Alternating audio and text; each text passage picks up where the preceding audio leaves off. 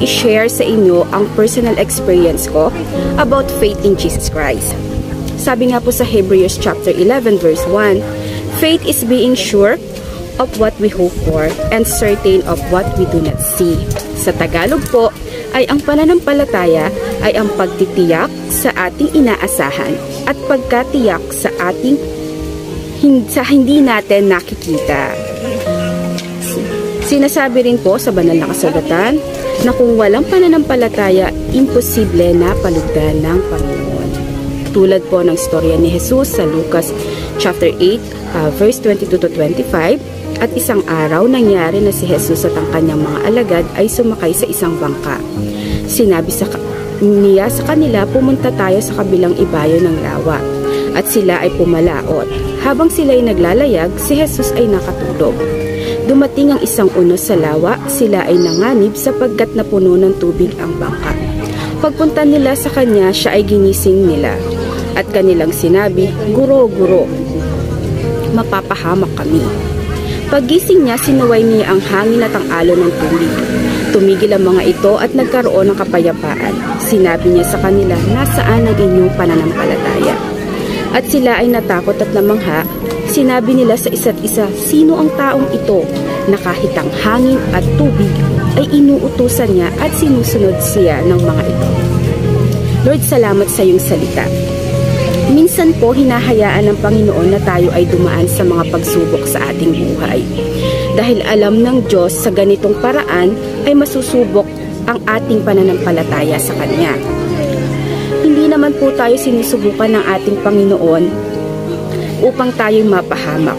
Bagkos sinusubukan niya tayo upang tayo maging malakas at matuto na dumepende at umasa sa Kanya.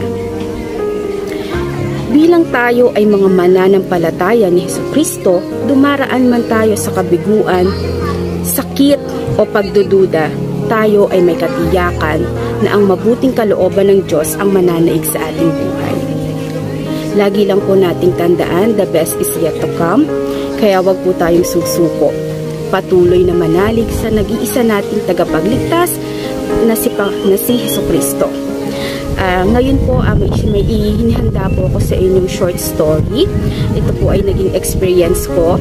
Uh, sana po ay magustuhan ninyo. Maraming salamat po.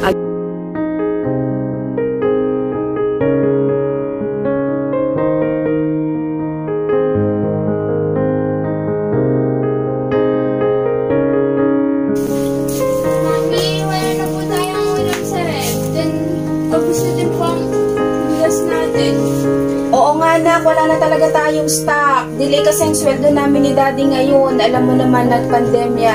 Pero nak, huwag kang mag-alala. Hindi naman tayo papabayaan ng ating Panginoong Jesus. Tayo magpe-pray. At bukas, sigurado ako, nakakatiyak ako ay may ibibigay na siya sa atin.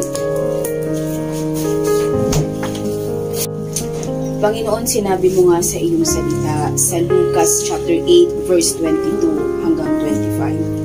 Isang araw si Jesus ay sumakay sa bangka kasama ang kanyang mga alagad. Sinabi niya sa kanila, tumawid tayo sa ibayo. At gayon nga ang ginawa nila. Nang sila'y naglayag, nakatulog si Jesus. Bumukso ang isang malakas na unos at ang bangka ay pinasok ng maraming tubig, kaya't nalagay sila sa panganib. Nilapitan at ginising ng mga alagad, Guro, guro, lulubog na po tayo, sabi nila. Bumangon si Jesus at sinaway ang hangin at ang nangangalit na mga alon at tumahimik ang mga ito. Bumuti ang panahon. Tinanong niya sila, nasaan ang inyong pananalig? Ngunit sila'y natakot at namangha at ang sabi ng isa, sino kaya ito?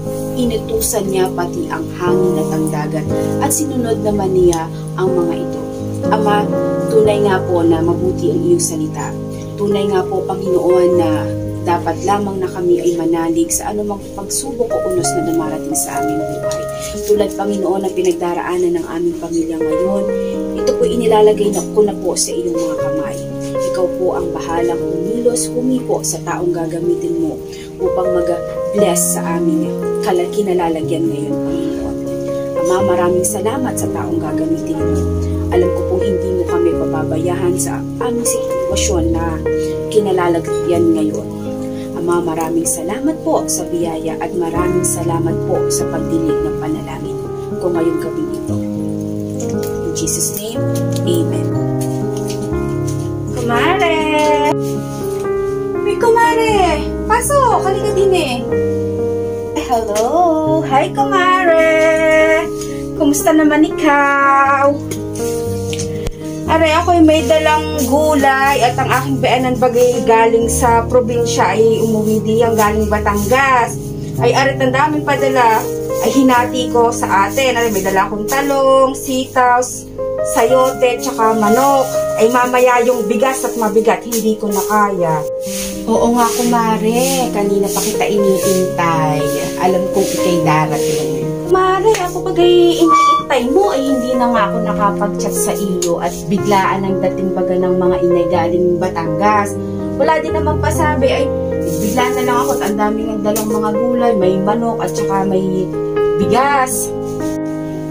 Iniintay talaga kita kasi alam ko ikaw yung ipinadala ng ating Panginoon Diyos para dinggin yung aking panalangin. Kasi kagabi pa ako nananalangin sa Panginoon dahil nga delay yung sweldo naming mag-asawa. Alam mo naman, pandemya ngayon, kumari. Kaya talagang nauunawaan ko naman yon Pero dahil nga alam ko na ang Panginoon natin ay hindi tayo pababayaan, ako'y nanalangin ng taimtim kagabi at ako'y naniniwala, nananampalataya na diringgin niya ang aking panalangin. At heto ka na nga, dininig niya na ang panalangin. Meron na kaming ulam, meron kaming bigas. Sa totoo lang, wala talagang laman ang aming rep. Wala kaming mailuluto ngayong hapon, ngayong araw na ito.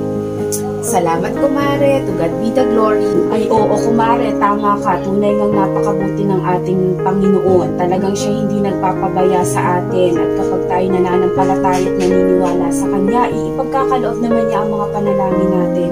Ay bago pa tayo humiling nga, ay alam niya na kung anong kailangan natin. Ay napakabuti ng Diyos. To God be the glory. At ako'y ginamit niya sa iyo bilang isang pagpapala, kumare.